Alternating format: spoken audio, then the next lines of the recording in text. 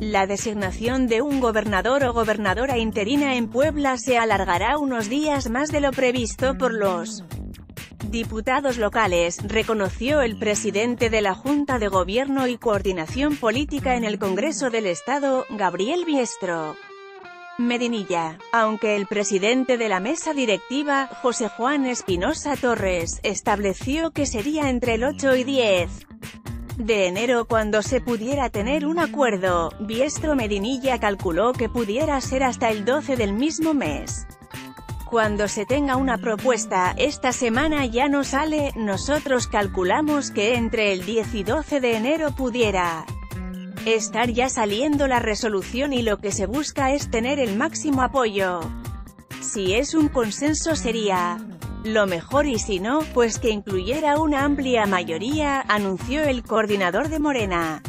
De acuerdo con la Constitución del Estado del Puebla, el secretario general de Gobierno, Jesús Rodríguez Almeida, solo puede estar como encargado de despacho del Poder Ejecutivo hasta por 30 días, plazo que concluye el próximo 25 de enero. Sin embargo, Biestro Medinilla señaló que todavía hay algunas dudas sobre el plazo que puede durar el encargado de despacho, entre otras observaciones que hay. Que hacer a la ley política las propuestas en cuanto a las propuestas de los ciudadanos Ricardo Villa Escalera y José Doger Corte, quienes entregaron un oficio para ser tomados en cuenta como aspirantes a la gubernatura interina, el líder del Congreso local, dijo que serán turnadas a las mesas de análisis para evaluarlas.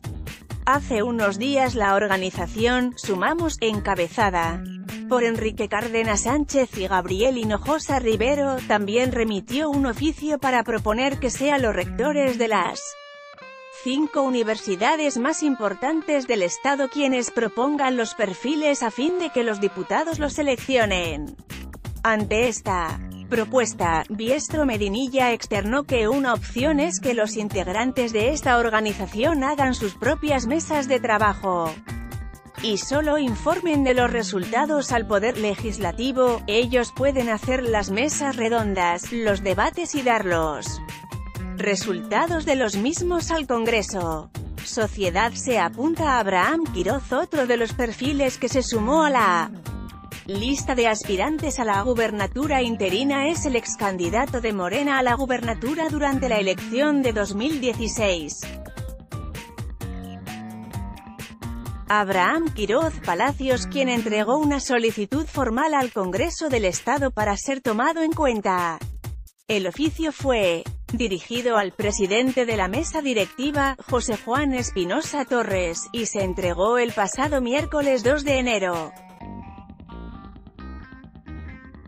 Plantea YIDCKOL proponer terna para interino por su parte, la dirigente nacional de Morena, Jade Kolpolensky, señaló a medios nacionales que no pueden permitir que el gobernador o gobernadora interina surja solo de una terna propuesta por el PAN, por lo que adelantó que su partido también perfilará a tres aspirantes, aunque evitó revelar sus nombres, no podemos aceptar una terna panista. Nosotros también tendremos que hablar de una terna morenista y terminarán, ellos presentando una propuesta del PAN, nosotros, de Morena. El PRI, su propuesta y se votará dentro del Congreso. Tendrían que ser perfiles ciudadanos, en cuanto a la elección extraordinaria. Insistió en que Luis Miguel Barbosa Huerta debe repetir como candidato a la gubernatura y afirmó que este pronunciamiento se da en respuesta al llamado de los panistas para que sea un perfil de acción nacional quien asuma la gubernatura interina. Política, política, política.